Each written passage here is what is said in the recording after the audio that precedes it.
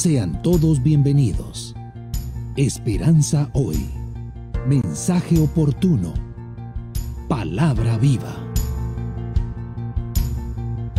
Esto es Esperanza hoy. Muy buenas noches mis hermanos, qué bendición y qué bueno poder decirles Dios les bendiga ahí en sus hogares o en el lugar que se encuentren en este momento, listos para recibir la palabra de Dios, listos para buscar más de la presencia de Dios, listos para decirle al Señor, gracias Padre por esta semana, gracias porque tu mano nos sostiene, porque tu espíritu nos alienta y porque tú nos llevas de victoria en victoria, de triunfo en triunfo. Que a pesar de los problemas o las enfermedades que tuvimos que afrontar, en esta semana, hemos podido ver la mano de Dios hemos, hemos podido ver cómo Él nos sigue sustentando y nos sostiene con la diestra de su justicia. ¿Y por qué no alabamos el nombre del Señor? ¿Por qué no venimos delante de Él y le decimos gracias, Padre, por lo bueno que tú eres?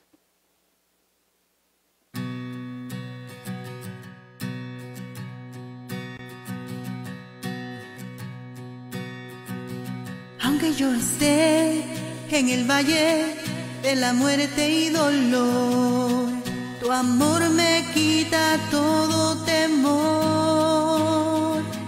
Y si llego a estar en el centro de la tempestad, no dudaré, estás aquí. Y no temeré del mal, pues mi Dios conmigo es. Y si Dios conmigo está, ¿de quién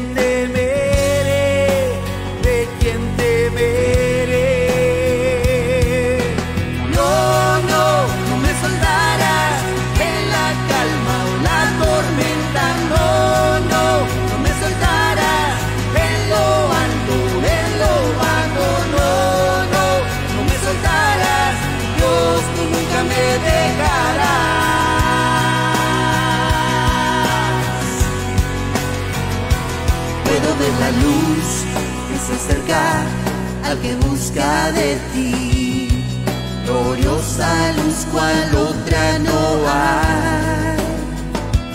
Y terminarán los problemas y mientras llega el fin, viviremos conociéndote a ti. Y no temeré del mal, pues mi Dios conmigo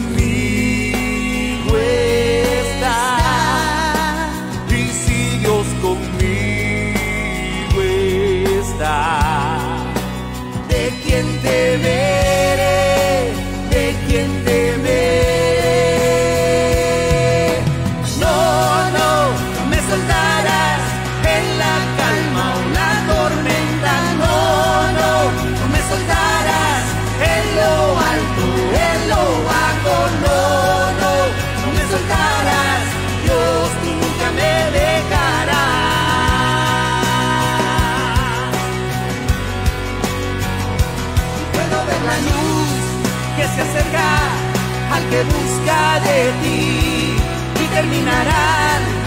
Y mientras llega el fin voy a alabarte, voy a alabarte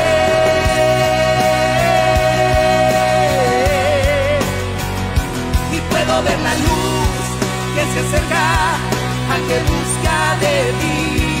Y terminarán los problemas y mientras llega el fin voy a alabarte, voy a.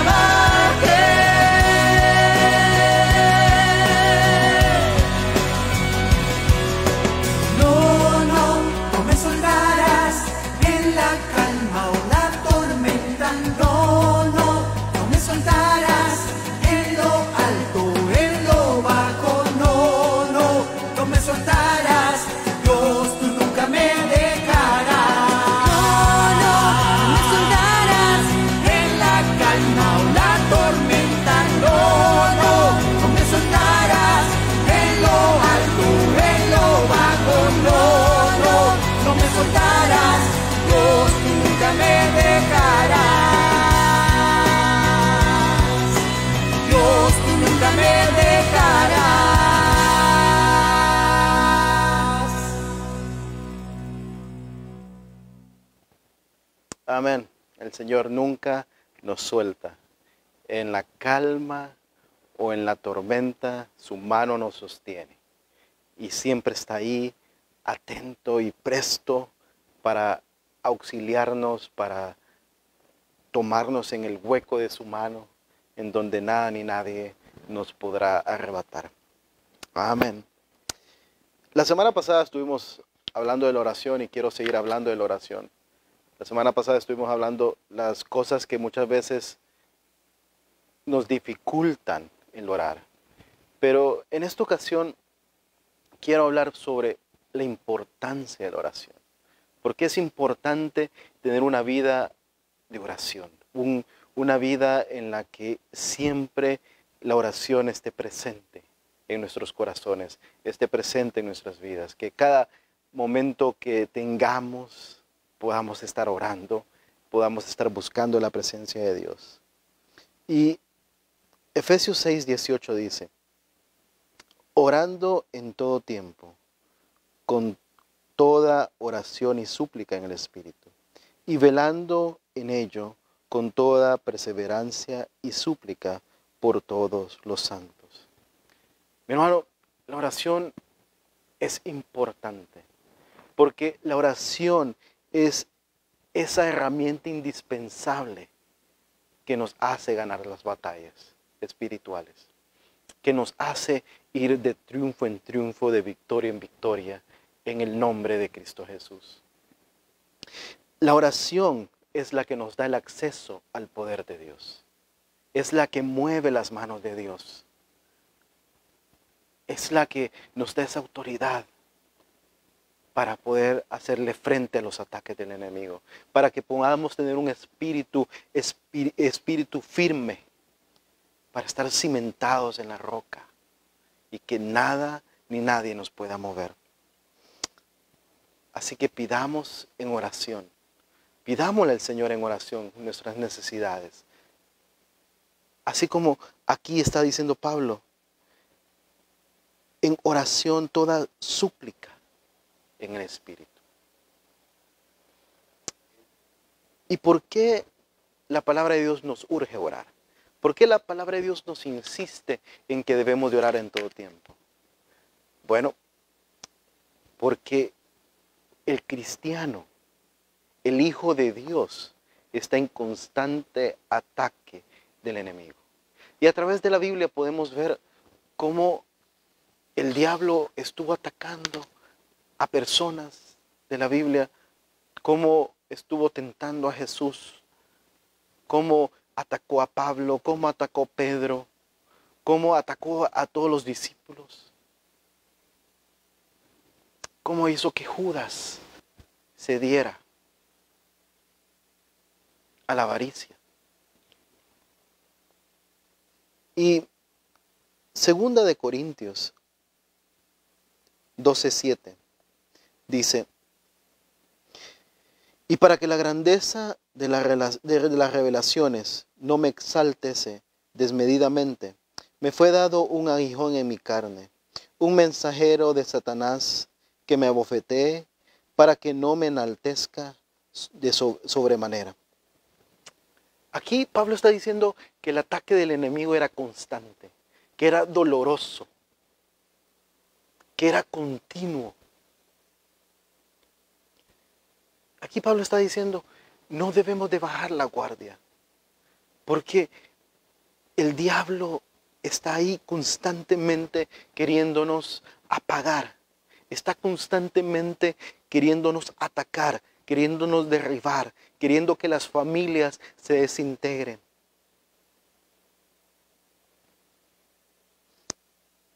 Y en primera de Pedro 5.8 nos lo recuerda y hace un énfasis aún más. Y dice, sed sobrios y velad, porque vuestro adversario, el diablo, como león rugiente, anda alrededor buscando a quien devorar. Aquí Pablo está diciendo, tienen que estar alertas, tienen que estar siempre atentos, tienen que estar siempre cubriendo sus familias con la sangre de Cristo, cubriendo sus vidas con la sangre de Cristo porque el diablo anda como león rugiente El diablo anda rondando ahí viendo quién está débil para empezar a atacar. Así que, ¿cuánto tiempo invertimos en orar por nuestros hijos? O pregunto, ¿está usted orando por todas aquellas personas que necesitan oración? Cuando miramos los domingos o aquí en Esperanza hoy que nombramos alguna petición en oración que algún hermano escribió o algo, lo anotamos para tener presente esa persona y orar por ella. O somos de esas personas que cuando estamos en una reunión o algo y dice, por favor, José, ora por los alimentos. Por favor, Héctor, ora para que podamos empezar esta reunión. Y nos ponemos así como que, no, no, no, mejor que ore Roberto, mejor que ore el pastor Daniel, porque él ora más bonito. Nos da pena.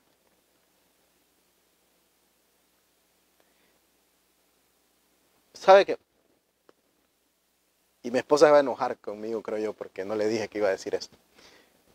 Pero mi esposa es bien, bien penosa. Mi esposa, hay dos desconocidos y ya no habló, se vuelve muda, porque es bien penosa para hablar en público y todo.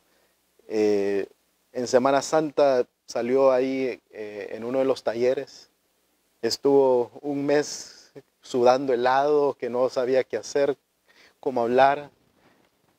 Estaba ahí que decía que sí, que decía que no. Unos, unos días antes yo creo que ni durmió por estar de de los nervios. Y algo que a ella le daba pena era orar en público. Y uno de los ejercicios que empezamos a implementar es que cuando salíamos de viaje o estábamos juntos, solo ella y yo, así en familia juntos, ella es la que oraba por los alimentos, ella oraba a la hora de salir de viaje para que Dios guardara nuestra salida y nuestra entrada. Y eso se volvió un hábito en ella. Y me impresionó el otro día que nos sentamos a la mesa, habían un par de desconocidos, unos amigos de, una de sus hermanas, y cuando ya sirvieron la comida, automáticamente empezó a orar por la comida. No se quedó esperando a ver quién oraba, sino que ella automáticamente. ¿Y por qué? Porque se ha vuelto una costumbre en ella. Orar. Orar por los alimentos. Orar cuando nos subimos al carro para que Dios guarde nuestro día. Y sabe que la oración está tan presente en su vida que ya no hay lugar para la pena. Ya no hay lugar para el temor. Y eso es lo que, lo que aquí Pablo está diciendo. Sed sobrios y velad, estar atentos, estar ejercitando ese, e, e, e, ese, hábito de orar. No sé cuántos, cuántos van al gimnasio, pero normalmente cuando uno va al gimnasio el primer día hace el ejercicio y el segundo día no puede ni mover un dedo porque le duele todo. Pero a, medida uno va continuamente al gimnasio, continuamente haciendo ejercicio, ya ese dolor se, se quita, ese dolor se va porque el músculo empieza a acostumbrarse al ejercicio, a esas rutinas, y se fortalece. Y así tiene que ser nuestra oración. Estar siempre velando, estar siempre orando, que se vuelva un hábito que, eso nazca en nosotros, el orar. Porque, así como dice Salmos 34, 7, el ángel de Jehová acampa alrededor de los que le temen y los defiende. El ángel de Jehová. Dios siempre va a estar ahí, presente en nuestras vidas. guardándonos, cuidándonos, protegiéndonos de todo mal.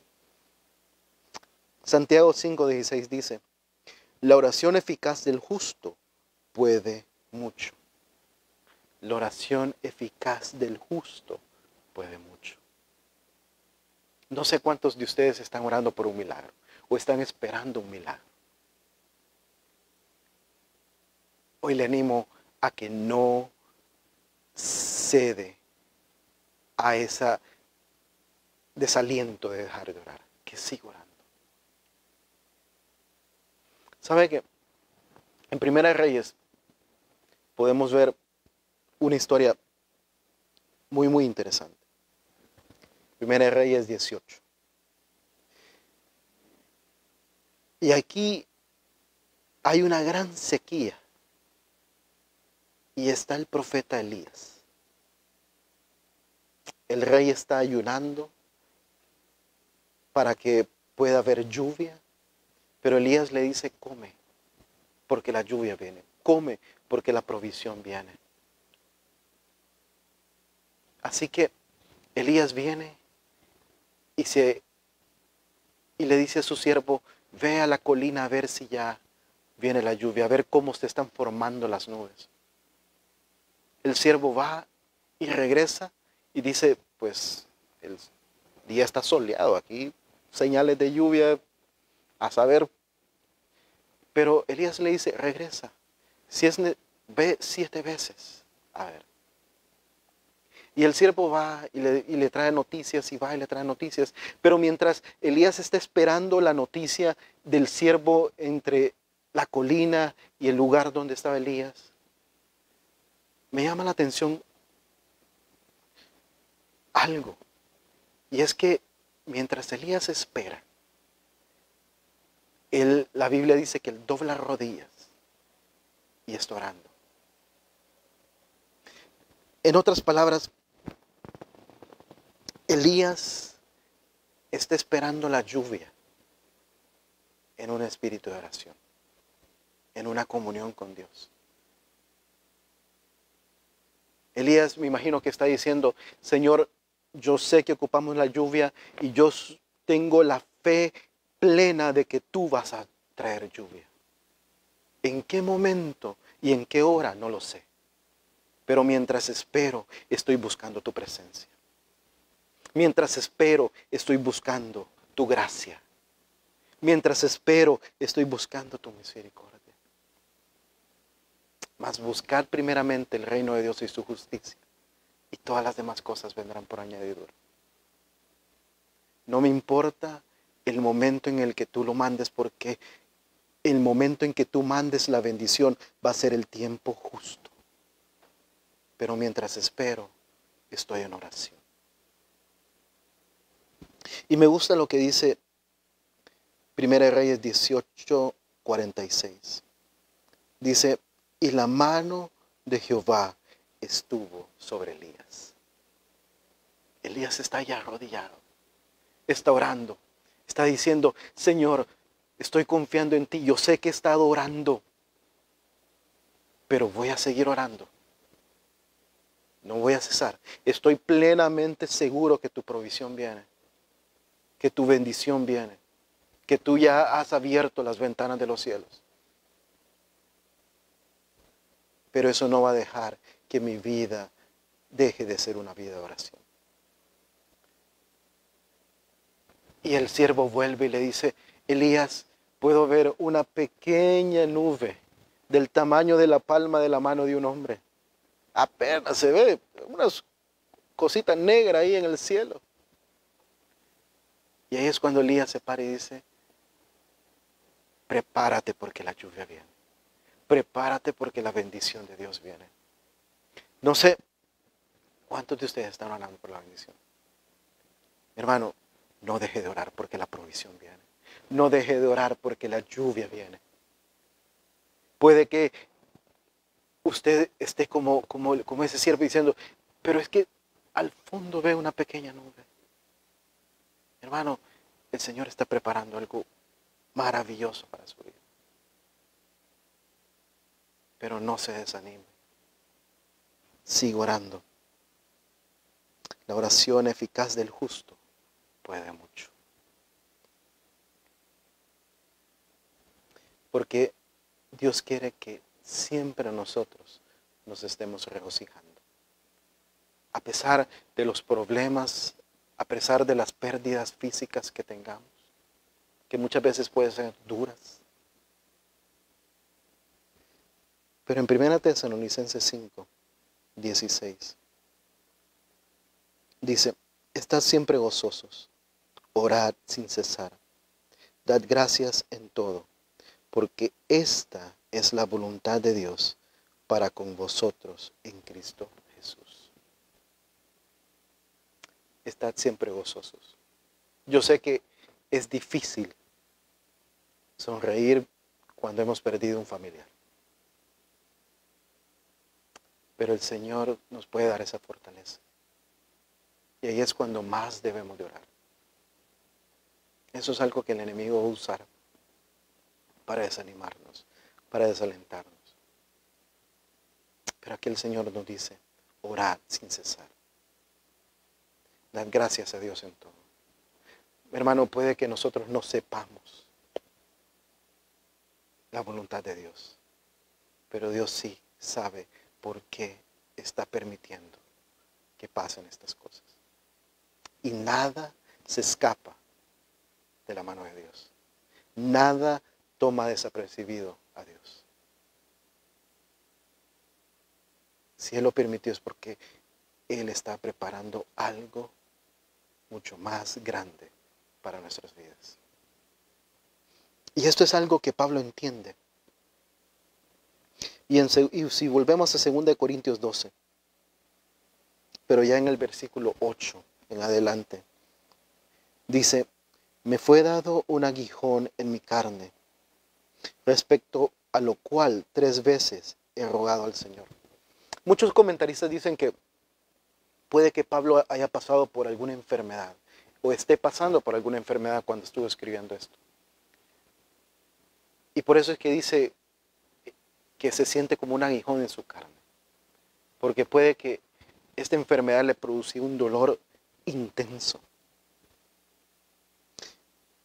Y aquí dice, tres veces le he rogado al Señor que lo quite. He estado en constante oración diciéndole, Señor, sáname. Y me ha dicho, bástate mi gracia, porque mi poder se perfecciona en la debilidad. Por tanto, de buena gana me gloriaré más bien en mis debilidades, en afrentas, en necesidades, en persecuciones, en angustia, porque cuando soy débil, entonces soy fuerte. Y aquí Pablo entiende algo. Dice, no es de poner mi mente en la enfermedad, no es de poner mi mente en el problema, no es de poner mi mente en las necesidades, en las persecuciones, en la angustia.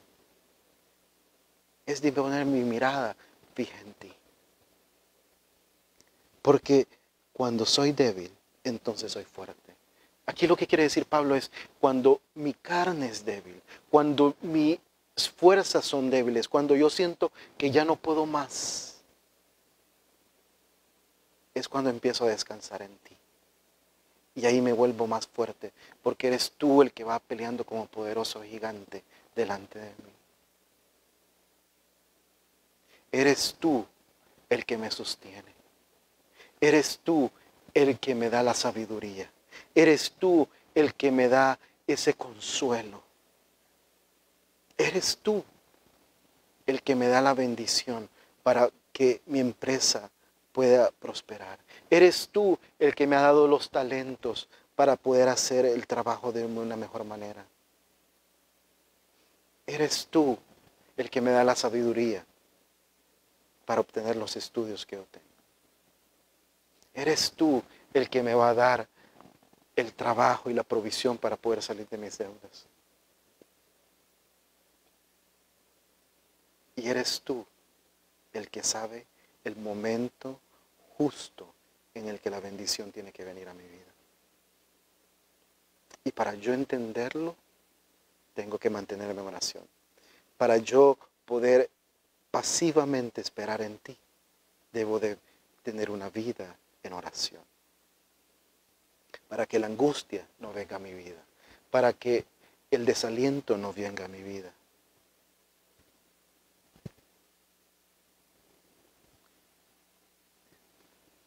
Muchas veces sentimos que oramos y a los pocos minutos nos quedamos sin palabras. Y sabe mi hermano, el egoísmo es del diablo. Y es lo que muchas veces está tenazmente a nuestras vidas.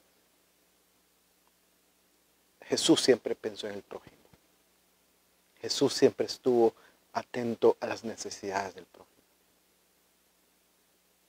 Y nuestras oraciones siempre tienen que estar ahí para el prójimo. Siempre debemos de orar por los demás. Los sábados a las cinco y media de la mañana, que ahora estamos orando, a esa hora, siempre se oran por nuestras autoridades. Y puede que no compartamos la mayoría de las cosas que están haciendo. Pero Dios nos manda a orar por nuestras autoridades. Dios nos manda a orar por aquel necesitado. Y mi hermano, orar en todo tiempo significa que debemos de orar por nuestras familias, por nuestras amistades, por todo aquel que se venga a nuestro corazón y a nuestra mente, aún antes de que sufran cualquier problema es de cubrir a nuestros hijos día con día. Aunque ellos no estén pasando por alguna dificultad, pero siempre orar por ellos. Es orar por nuestros padres. Aunque ya sean cristianos, aunque ya hayan venido a los pies de Cristo, seguir orando por ellos. Porque es, si nosotros tenemos nuestras familias en oración, si nosotros tenemos nuestros hermanos en Cristo en oración, esto va a detener los ataques del enemigo. Esto va a hacer que el enemigo no pueda hacerle frente a nuestras familias, a nuestros hermanos en Cristo.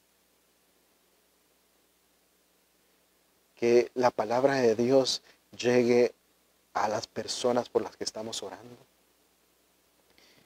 que la palabra de Dios, que la justicia de Dios llegue a nuestras autoridades para que empiecen a gobernar con el temor de Dios, para que Dios empiece a levantar hombres y mujeres que realmente quieran hacer un cambio de bien en nuestro país.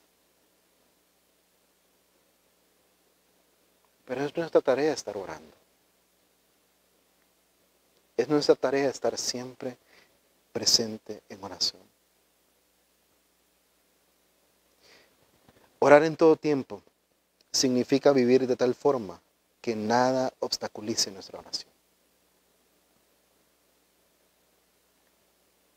Así como les contesté el testimonio de mi esposa. Estaba más presente el orar, el darle gracias a Dios, por el plato de comida que tenía en su mesa, que el temor y la pena a estar en público, al pánico escénico, como podemos decir. Y eso es lo que deberíamos de tener en nuestras vidas. Que cuando vengan los problemas, cuando vengan algunas situaciones a nuestros corazones,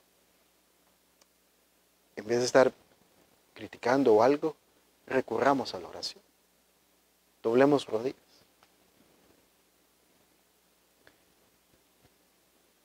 Y sé que muchas veces es difícil. Llevamos años orando por ese esposo para que venga a los pies de Cristo. Y miramos que no pasa nada. Pero así como Elías, debemos de estar con esa fe de que Dios va a contestar nuestra oración. No sabemos el momento, en el que va a pasar. Pero la manera en la que esperamos es lo que va a hacer un cambio en nuestras vidas. Lo que nos va a hacer llegar a la bendición de Dios de una forma más recta, más firme, de estar más preparados para poder, para poder recibir la bendición de Dios. Así como Elías está orando y decirle, Señor, no sé en qué momento tú vas a contestar mi oración, pero aquí estoy buscando tu presencia, pero aquí estoy buscando tu voluntad. No sé cómo voy a llegar a cumplir este sueño, pero tú sí sabes. Y por eso es que estoy buscando tu presencia, por eso es que estoy buscando tu dirección. Porque si voy de tu mano, todo va a estar bien. Todo va a salir bien.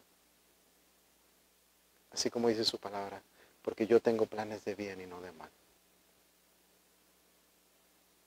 Si yo voy de tu mano, mi pie no va a dar a resbaladero. Si yo voy de tu mano, yo no voy a ceder a la tentación. Si yo voy de tu mano, sé que voy a conocer a esa persona que tú has apartado para mí. Que tú tienes ahí para mí, para que sea mi esposo, para que sea mi esposa. Pero desde ya estoy orando por él. Desde ya estamos orando por el esposo de nuestros hijos, por la esposa, por la esposa de nuestros hijos, por el esposo de nuestras hijas. Desde ya. Señor y Padre Celestial, venimos delante de ti, Señor. A pedirte que nos des un espíritu de oración, Señor. Que nos inquietes orar, Señor. Que nos permitas estar siempre velando porque sabemos que los días son malos. Sabemos que el diablo anda como león rugiente, viendo a quién devorar. Y Señor, ponemos nuestras familias delante de ti, para que tú las cubras con tu sangre, para que tú, Señor, nos libres del mal, para que tú nos des esa fortaleza para poder decirle no a la tentación. Porque el diablo, Señor, está queriendo seducir nuestras familias, Señor. Está queriendo destruir ese núcleo familiar. Pero en ti, Señor, queremos pararnos firmes. Queremos estar cimentados en esa roca firme que eres tú, Señor. Pero para eso necesitamos tener una comunión íntima contigo. Para eso necesitamos estar siempre buscando tu presencia, siempre presente tu palabra en nuestras bocas. Y para eso necesitamos de ti, Espíritu Santo, para que nos inquietes orar para que nos inquietes a buscar más de la palabra de Dios. Llénanos de tu presencia, Señor. Aviva el fuego en nuestros corazones. Aviva esa llama en nuestros corazones. Porque es a ti a quien queremos servir. Es a ti a quien queremos seguir. Señor, que, que nuestras vidas sean un reflejo de tu amor. Que nuestras vidas sean un reflejo de esa gracia y misericordia que tú has mostrado. De ese amor que tú tienes para todo aquel que se está muriendo sin ti. Que podamos compartir tu palabra hoy más que nunca. Que podamos ser luz en nuestros trabajos, en nuestros negocios, en nuestras escuelas, en nuestras universidades, en todo lugar donde nos desenvolvamos.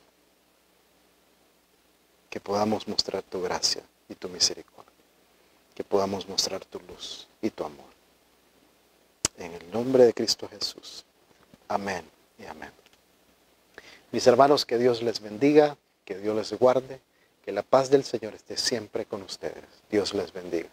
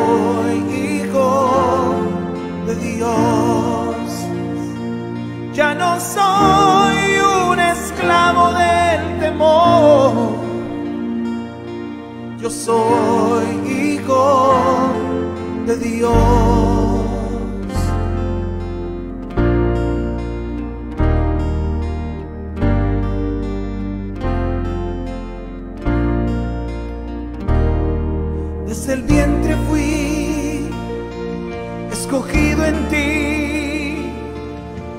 Me llamo el amor. De nuevo nací, recibido en ti. Tu sangre me limpió.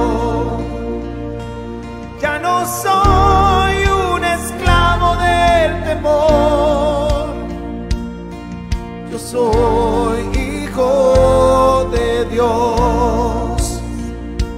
Ya no soy un esclavo del temor. Yo soy hijo de Dios. Ya no soy un esclavo del temor. Yo soy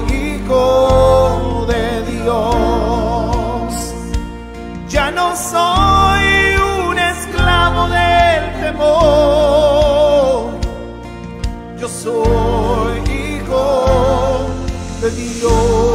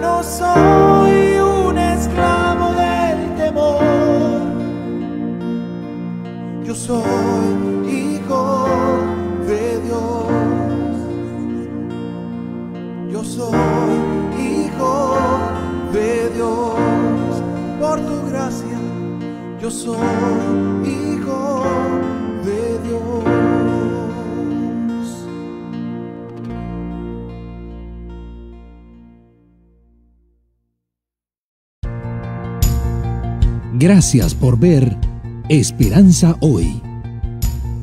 Mensaje oportuno. Palabra viva. Esto fue Esperanza Hoy.